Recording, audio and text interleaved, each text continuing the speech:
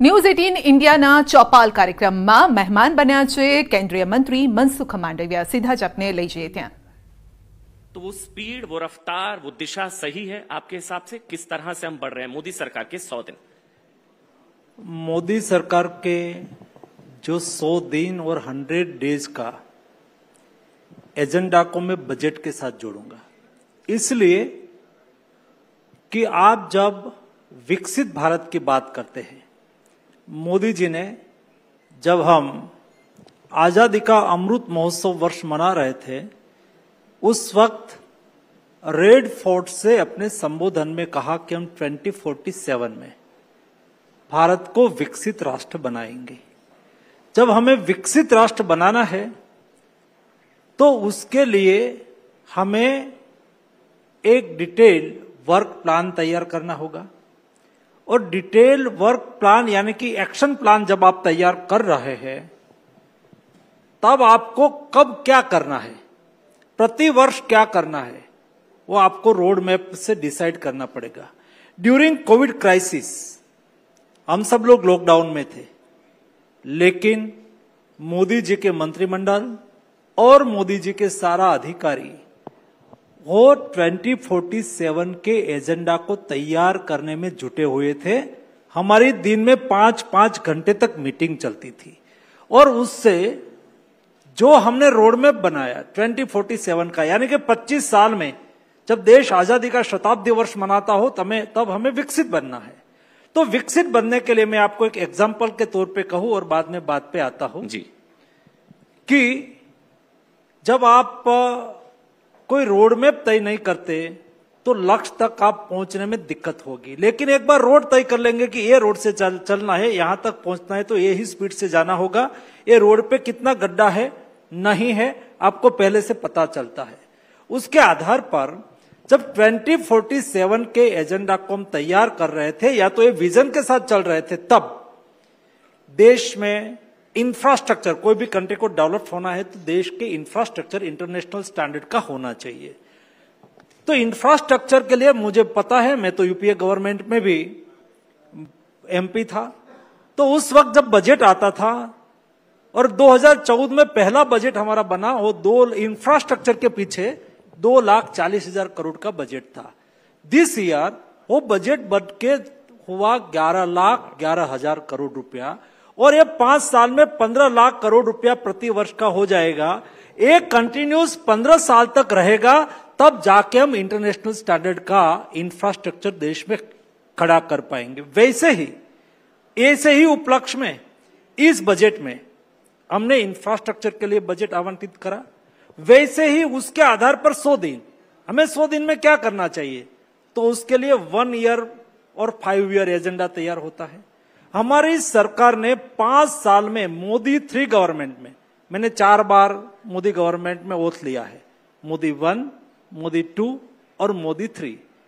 तो बीच में मैं इंडिपेंडेंट चार्ज मिनिस्टर था, कैबिनेट मिनिस्टर बना तो मेरा चार बार ओथ हुआ। मैंने देखा है मोदी जी की कार्यशैली, वो हमें दिशा देते हैं दर्शन देते हैं उसमें हर टाइमिंग के साथ काम हो। टाइम पे काम हो और फोकस अटेंशन से काम हो, कोई भी हमारी योजना ऐसी नहीं होगी जो हमने योजना लॉन्च कर दी, लेकिन टाइम पर उसका इंप्लीमेंटेशन ना हुआ हो।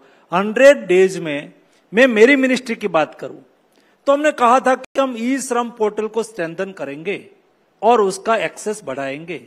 हमने कर दिया। हंड्रेड हंड्रेड डेज़ में हमने कहा था कि हम ईपीएफओ में आईटी स्ट्रक्चर को रिफॉर्म करेंगे। हमें कर दिया। ऐसे खेलों क्षेत्र में हमने कहा था कि हम हमारे खिलाड़ी है खेलते हैं रिटायर्ड हो जाते हैं बाद में रिसेट खेल में नहीं रहते हैं तो उसको रिसेट करने की आवश्यकता है सरकार की जिम्मे सरकार को उसकी जिम्मेवारी लेनी चाहिए। हमने उसके लिए तय कर लिया। बीच में टोक रहा हूँ। मोदी जी बहुत टफ टास्क मास्टर है क्या? मतलब ऐसा आप क्योंकि थोड़ा अगर आप कुछ शेयर कर पाए कहा जाता मैं है कर सकता हूँ अवश्य कर सकता हूँ। पूरी टाइमलाइन डेडलाइन बहुत टफ टास्क मास्टर है पीएम मैंने मोदी जी के साथ गुजरात में काम करा है। मैं विधायक था। 25 साल पहले मैं 2002 में विधायक था। जी। बाद में मैं एमपी बना मंत्री हूँ। तो मुझे 25 साल का अनुभव मोदी जी के साथ काम करते हुए मैं स्वयं तो भाग्यशाली हूँ कि ऐसे नेतृत्व के नीचे मुझे काम करने का अवसर मिला जिसमें दो चीज़ मैं सीखा हूँ। मोदी जी विजनरी लीडर है। 2002 में हम विधायक थे और उस वक्त मोदी जी हमें बात करते थे सोशल मीडिया की। जब एकदम प्राइमरी लेवल पर सोशल मीडिया थे जब विधायक की मीटिंग होती थी तो मोदी जी टेबल लगाते थे और सभी को 2002 की बात कर रहा हूँ। वो सभी को कहते थे आप मेल आईडी ओपन करो। आप ट्विटर में अकाउंट खोलो फेसबुक में अकाउंट खोलो ये करना है। बाद में हमें पूछते थे कितनी ट्वीट करा फेसबुक में क्या डाला। ये इस और ये समय में वो बोलते थे कि आने वाले दिनों में सोशल मीडिया का समय आएगा और सोशल मीडिया चुनाव की दिशा तय करेगा जो हमने 2014 में देखा और आज देख रहे हैं। ये विजनरी व्यक्ति है और विजन को इंप्लीमेंट करने के लिए वो टाइम में बहुत मानते हैं आपने देखा होगा। कब भी प्रधानमंत्री जी की कोई रैली अनाउंस हो गई आप तो मीडिया से जुड़े हुए जमशेदपुर वाली जहाँ बारिश हो गई उसके बाद भी वो गए अभी जमशेद कब भी आपने देखा होगा कि मोदी जी ने एक सप्ताह पहले तय हो गया कि मोदी जी की रैली यहाँ पर है और कैंसल हुई वो कभी नहीं होगा। बिल्कुल ठीक। दूसरा एक वर्क कल्चर बदल गया एक समय था जिस समय में लीडर को तो लेट ही आना होता है। ऐसा एक वर्क कल्चर और परसेप्शन बना था। तो बाद में तो क्या होता था? 11 बजे का टाइम था तो जनता ही 12 बजे आती थी। उसको ऐसा था कि लीडर तो साढ़े बारह बजे आएँगे। तो ये वर्क कल्चर बदल गया। मोदी जी टाइम पे पहुँचते हैं। टाइम पे कार्यक्रम चालू होता है टाइम पे कार्यक्रम पूरा होता है। इस हिसाब से मैं कहो तो मोदी जी एक्शन करने वाले। ठीक। विजनरी लीडर है और इसलिए पिछले दस साल में जो देश में आउटपुट मिला है वो आउटपुट और आगे मिलते रहेंगे। मैं आगे बढ़ूं। आपने क्योंकि प्रधानमंत्री का ज़िक्र किया मैं पीसीआर टीम से रिक्वेस्ट करूँगा अगर हम वो वीडियो चला पाए जो प्रधानमंत्री पैरालंपिक खिलाड़ियों से मिले जिस तरह का पर्सनल टच था वो अगर हम वीडियो एक बार चला पाए। सर। बाकी लोगों के लिए आप पीएम का मतलब होता है कि प्राइम मिनिस्टर। और हमारे, हम सब के लिए आप पीएम का मतलब है परम मित्र।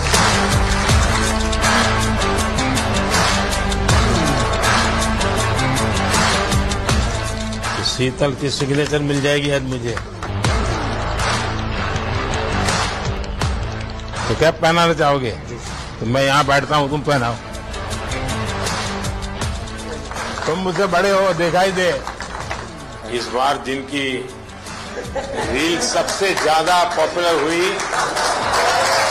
वहाँ तो तुमने दिन निकाल दिए। अब घर में क्या होगा तेरा? है सिमरन? सर ये जितना अच्छा बन के दिखा रहा इतना है नहीं। जब टोक्यो में गोल्ड लेके आए तो आपने प्रॉमिस लिया था कि ऐसे ऐसे दो गोल्ड और चाहिए मेरे को। तो सर, मैंने जो नोट किया इस वीडियो में, आप उनकी पर्सनैलिटी का पर्सपेक्टिव ज़्यादा बेहतर बता सकते हैं।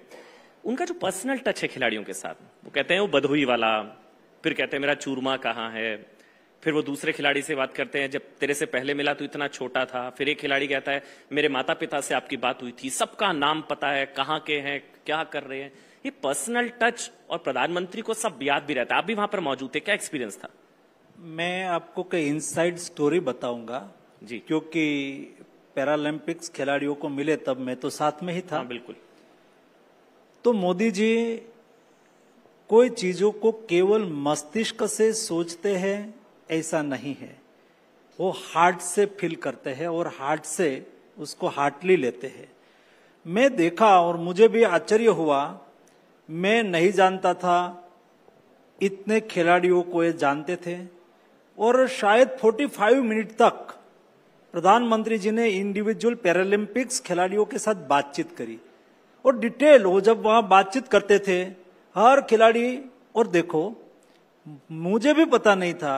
वो कहते थे कि आप तो वहाँ ऐसे चेयर करा, आप यहाँ तो बहुत शांत है, वहाँ तो बहुत एग्रेसिवली तू ये करता था तो वहाँ ये बोल गया था। ऐसा करके एक एक खिलाफ एक एक प्लेयर के साथ वो बातचीत कर रहे थे। उसके परिवार परिवार में कितने सदस्य है और उस क्या कर रहे हैं वहाँ तक उसके पास इंफॉर्मेशन होती थी। और सभी मेरे पैरालंपिक्स खिलाड़ियों ने जब विदाई करा यहाँ से तब एक कार्यक्रम आयोजित हुआ था वर्चुअली तो मैं उसमें भी जुड़ा था। जी। सब खिलाड़ियों भी थे। तो पैरालंपिक्स खिलाड़ी इतना उत्साह से बोल रहे थे कि साहब हम रिकॉर्ड ब्रेक करके आएँगे। तब मोदी जी ने कहा था मुझे पूरा विश्वास है आप में जो जज्बा है वो स्वयं बताता है कि आप देश का नाम रोशन करेंगे। तो जो हमारा 19 मेडल था यही हमारे प्लेयर ने 29 मेडल कर दिया। yes. प्रेम हुफ जब बात कर रहे थे कई खिलाड़ी ऐसा बोल रहे थे कि साहब मैं इसलिए इस बार अच्छा परफॉर्मेंस करा कि लास्ट बार जब आप प्लेयर से बात कर रहे थे टॉक कर रहे थे तो मैं आपसे बात नहीं कर पाया था क्योंकि मैं मेडल लेके नहीं आया था। लेकिन इस बार मैंने तय करा था कि मैं मेडल लेके जाऊँगा। और मैं मोदी जी के साथ बातचीत करने का मुझे अवसर मिले। ये जज्बा प्लेयर में मैंने देखा। तब हमें लगता है कि देश कैसे बदल रहा है देश कैसे आगे बढ़ रहा है जी। और नया भारत का कैसे निर्माण हो रहा है। आपने मनसुख जी शुरुआत में जिस आपने जो जवाब दिया उसमें आपने कुछ बातों का ज़िक्र किया। एक तो दो हज़ार सैंतालीस टारगेट का ज़िक्र किया। आपने कहा स्पीड ब्रेकर्स किस तरह के। मैं सवाल ये कि अब क्या 240 में सरकार और 303 में सरकार? क्योंकि आप जब 303 तब भी आप मंत्री स्वास्थ्य मंत्री कोरोना संकट के समय और अभी भी आप। तो कुछ फ़र्क महसूस करते हैं? आप थोड़े ज़्यादा स्पीड ब्रेकर्स हैं? मतलब कहा जाता है साहब कि अब वो वैसी धमक से सरकार अब मैं ऐसा मानता हूँ कि जो काम करने वाले लोग हैं उसको कोई स्पीड ब्रेकर उसको ब्रेक नहीं कर सकते। मोदी जी का लक्ष्य निश्चित है काम का रास्ता सुनिश्चित है। हम अलायंस में चुनाव लड़े थे और अलायंस में हम मेजोरिटी है। हम 272 नहीं है हम 293 के साथ सरकार में आए हैं। जी। दूसरा हम जो लोग हारे हुए हैं ये लोगों के सामने क्वेश्चंस है। हम उसको हार जीत के जगह पे जनता का आशीर्वाद के रूप में लेते हैं। जनता ने हमें आशीर्वाद दिया है। हम ना एरोगंट है। आपने देखा होगा। प्रधानमंत्री जी ने ना कभी जो भी हमें जनता ने आशीर्वाद दिया है, हमें काम करने के लिए, जनता ने बहुमत से सरकार बनाने के लिए एनडीए को मैंडेट दिया है। तो हम मोदी वन, मोदी टू और मोदी थ्री, जो हमने एजेंडा 2014 में सेट करा है वो एजेंडा के मुताबिक आगे नहीं मैं ये सवाल इसलिए बार बार पूछ रहा हूँ क्योंकि जो परसेप्शन है हो सकता है गलत हो आप सही करिएगा कि मोदी सरकार जो मतलब मोदी 2.0 था वो मोदी 3.0 उस धमक के साथ नहीं है। विपक्ष के शब्दों में कथित रूप से तानाशाही या मतलब बुलडोज नहीं। अब जैसे कई फैसले वापस हुए सर। इंडेक्सेशन का फैसला था। इसके अलावा लेटरल एंट्री का फैसला था। ब्रॉडकास्ट बिल भी होल्ड पर।